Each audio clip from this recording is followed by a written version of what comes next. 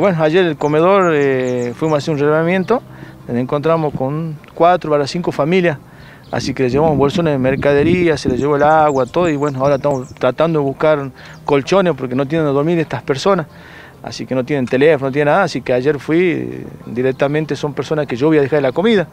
Eh, bueno, eh, ellos me comentaron la situación que están pasando, nadie se acercó, nadie lo ayudó, eh, como dije yo, en la parte de desarrollo tampoco se fueron a ver, han hecho un censo, no han hecho reconocimiento, no salieron a caminar.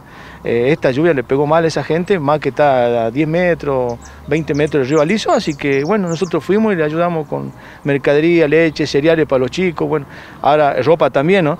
Eh, lo que tenemos que buscar es dos colchones usados nada más, aunque sea para, para ellos, ¿no?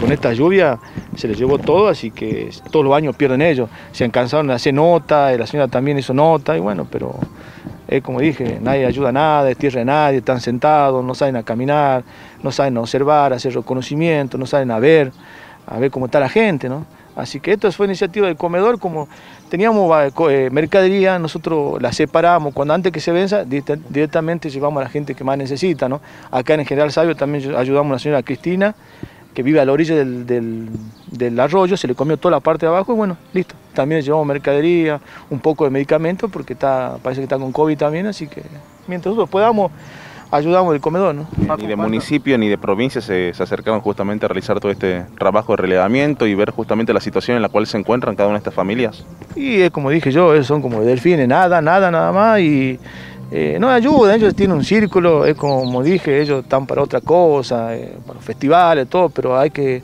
ver acá el bienestar de la gente, ¿no? Es lo más esencial, lo principal es que, que bajan por, por, nosotros, por nosotros bajan muchas cosas, no digo en plata, en cosas, pero en ayuda, parte del bienestar de la gente hay, ¿no? Ayer ayudamos a cuatro familias, eh, cada familia tiene tres, cuatro pibes, al señor Luis que andaba en la calle, también le encontramos un lugar, ya está viviendo en el galpón, también se llenó de agua, así que ayer le llevamos comida y bueno, ahora tengo que conseguir un par de remeras, pantalones porque anda sin nada. ¿Vas a continuar con estos relevamientos?